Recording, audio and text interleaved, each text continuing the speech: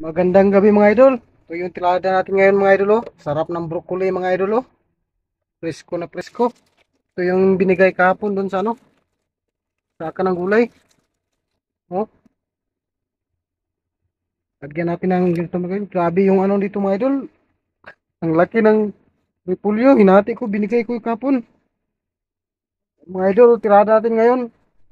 Mag ano tayo, gulay. Mga idol, oh, ready na yung tirada natin ngayon mga idol. Yan lang yung ano natin ngayon. Ah, habang pinapakuluan natin yung pakpak mga idol, ito lang yung sa kalam dito eh. Pakpak lang. Idol, nakulo na yung ano natin mga idol. Kuluan muna natin yung ano, yung pakpak mga idol.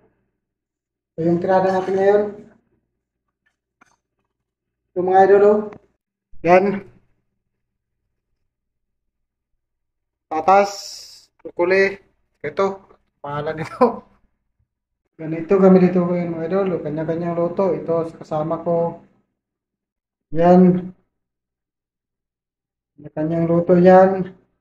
Sa akin, kasama na yan baon bukas.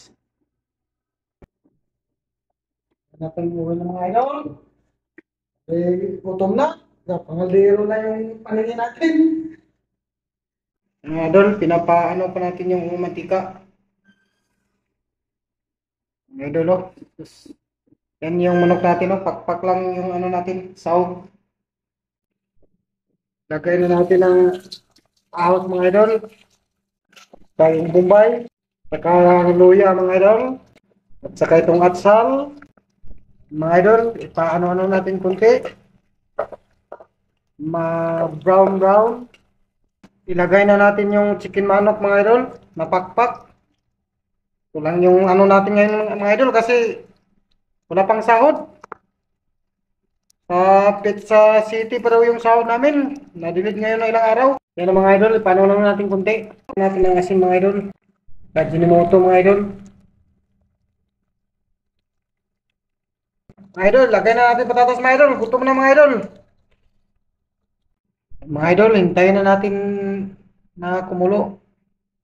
Mga idol, lagay na natin broccoli mga idol. oh. Sarap ng broccoli. Mga idol, hindi lang masyadong ma, ano yung broccoli. Yan.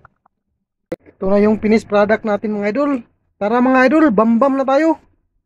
Oh, tamang-tama lang yung broccoli pagkaluto mga idol. Saka yung ano.